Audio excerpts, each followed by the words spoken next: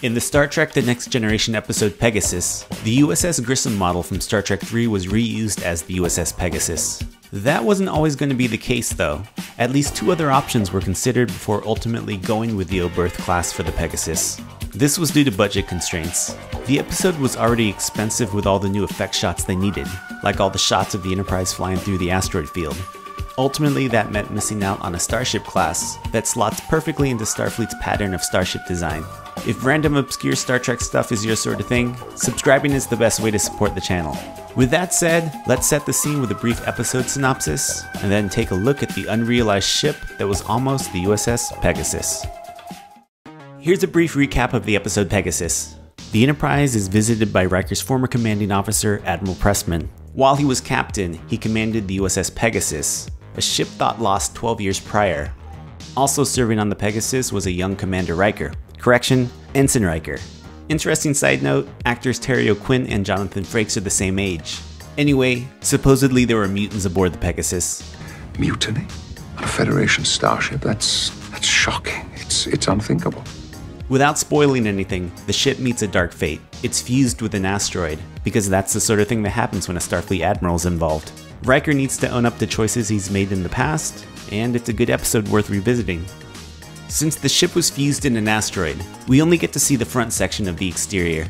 Side note, these spotlights on Pegasus are coming from the Enterprise. To my knowledge, this is the only time we see the Enterprise D spotlights used. Going into the episode, Rick Sternbach, the artist who helped define much of the look of the next generation, drew up a concept of what the Pegasus could look like. Since the story explained that the ship had experimental technology that would have been used on future ships like the Enterprise D, it makes sense that it would be from a generation of starship directly preceding the Galaxy class. The Pegasus was a prototype, experimental engine, new weapon systems. In fact, some of our designs were used in constructing the Enterprise. Sternbach, who also helped design the Ambassador class Enterprise C, offered up this. It would have been a kitbash of the Ambassador class to create a new class of starship. Just a bit of background, kit bashing is where model makers would throw together existing model parts and molds to create new starships. So not to be confused with kit bashing. You're about as much fun as a divorce. So what makes this interesting is that in Star Trek lore, Starfleet's main heavy cruiser starships like the Constitution class and Galaxy class usually had condensed variants like the Miranda and Nebula classes. If these were the sedans, these would be their hatchback equivalents. It makes sense that the Ambassador class would have had something similar. This concept art is really a straightforward kit bash. It doesn't appear to have any modified parts from the Ambassador class. It's just chopped up and rearranged. Of course, during the model making process, there would have been tweaks in order to get the parts to fit together better. Since this ship was mostly covered in asteroid, a lot of the rough spots of how things fit together would have been concealed anyway. However, it never reached that point since this concept was dismissed during pre-production. This concept drawing also offers us a front view of the ship. This shows that the nacelles and pylons would have been directly attached to the outer portion of the saucer, again giving the ship a similar configuration to the Miranda and Nebula classes, with how the nacelles tuck in under the saucer. When you consider that this is basically an ambassador class with the neck removed, it only has slightly less interior space. Otherwise it makes sense that this Pegasus concept is every bit as capable as an ambassador class. When we see its engineering room, this display shows four nacelles.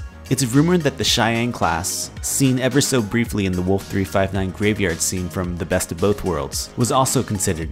This model is pretty crude, even by background ship standards, but it may have worked since the ship was going to be mostly concealed anyways. If that's the case, then these four nacelles may have been remnants of that.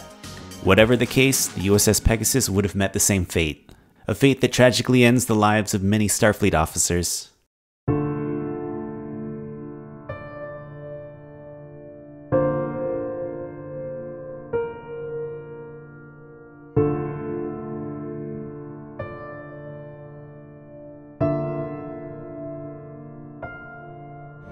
Wonder how many of the crew are buried back there. So, that's the video. I know it's hard to think about anything else during times like this, but I am working on a series of DS9 videos that are taking a fair bit of time to finish, so in the meantime, I just wanted to take a look at smaller topics like this, just share some of the more obscure topics in Star Trek history. Um, I'd like to thank these mutinous traders for all their support of the channel. Really appreciate it. Thanks for watching, and um, yeah, I'll catch you in the next video. We're not here for a memorial service.